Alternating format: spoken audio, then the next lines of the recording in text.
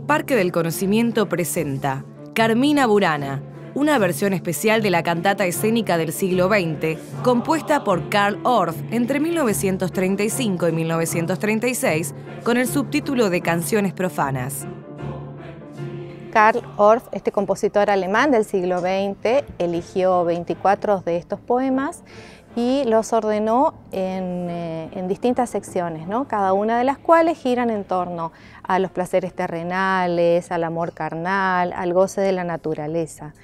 En, eh, cuanto a la música de esta composición, Karl Orff eh, se basó en las estructuras formales y en el texto sencillo de los poemas, pero a los cuales le hizo un tratamiento muy elaborado de la cuestión rítmica y del lenguaje contemporáneo propio del siglo XX.